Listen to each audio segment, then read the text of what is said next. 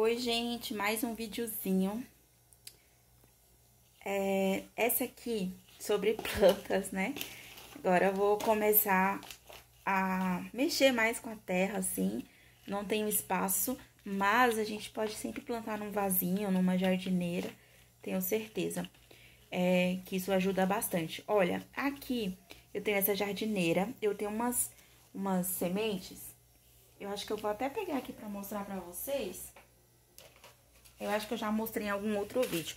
Então, as sementes, ela, eu tenho semente de coentro. Esse aqui que é couve-flor. Esse alface, couve-manteiga. E as sementes dos tomates que eu vou comendo também, eu, eu guardo. Então, eu vou, eu vou fazer o plantio dessas sementezinhas nos vasinhos pequenininhos por unidade, que eu acho mais, mais fácil. Eu queria aqueles aquelas, aqueles isopor, isopor não, aquele papel que vem com ovo, sabe? Que é individual e a gente pode plantar, mas não tem aqui. E eu não vou comprar porque tem bastante ovo aqui. Então, se eu comprar, talvez eu, eu use, né? Mas eu vou fazer nos vasinhos. E aí, eu já tô preparando o quê? O meu canteiro aqui, que é essa jardineira. Eu tenho outra jardineira essa aqui eu não sei o que, que eu vou plantar ainda, eu vou só preparar mesmo o solo. E aqui eu tenho o fertilizante orgânico, que é esterco de galinha.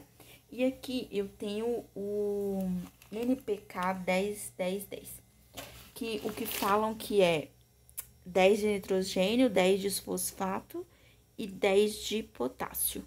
Por isso que é 10, 10, 10. Falam para usar muito pouco e falam para preparar o terreno três semanas antes, que é o prazo que as minhas mudinhas vão estar tá prontas para replantio, que seria nesse vaso aqui. Então, eu vou preparar agora. Eu vou colocar bem pouquinho, aqui eu já tenho um medidor, ó, que veio nessa outra, que é uma colher de sopa e aqui uma de chá. Então, eu vou, de, disso aqui, eu vou plantar Vou, vai ser meio superficial, porque essa terra já tava nesse, nesse, nessa jardineirazinha. Então, o que, que vai acontecer? Ao ir regando, vai indo para baixo, né? Pra toda a terra embaixo. Eu vi algumas pessoas falando que a gente pode... Pronto, três colheres, depois eu vou misturar tudo. Eu vi algumas pessoas... Ah, essa colherzinha eu uso pra misturar, gente.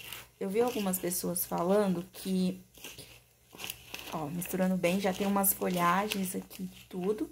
Eu vi algumas pessoas falando que a gente pode pegar o NPK 10 e diluir na água e, e regar. Eu acho que deve... De, tá bom, né? Não pode colocar muito, porque pode matar a planta ou algo assim. Então, eu vou colocar. E eu vou colocar um cadinho desse aqui, ó. É porque eu tô preparando os terrenos, ó. Isso aqui. Não, acho que é muito pouco, né? Vou colocar isso aqui, ó, só. E vou espalhar, ó. Dizem que ele... Ó, e vou espalhar e vou dar uma misturada, vai. Vou dar uma misturada e vou regar. Regando, eu deixo aí pra preparar o solo.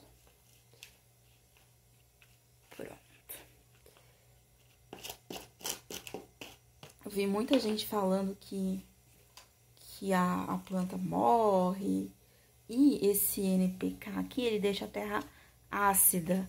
Aí falaram para depois de umas semanas comprar um outro, que é um, um, tipo um pozinho branco. Eu esqueci o nome agora. E, e colocar, né, pra tirar a acidez. Mas a gente vai ver. Bom, é isso, gente. Mais um videozinho aqui pro canal é, preparando a minha a minha jardineira. É, se eu tivesse humus de minhoca, essas coisas eu também colocaria, né? Ou, por exemplo, colocar casca de ovo é, e, e borra de café. Mas eu ainda não tenho isso aqui, mas eu posso depois ir repondo. Bom, é isso, gente. Desculpa, às vezes eu atropelo meio as informações que eu tô falando no vídeo, é que eu fico pensando rápido. E aí vem uma informação em cima da outra. Mas é isso. Beijos e até o próximo vídeo. Tchau!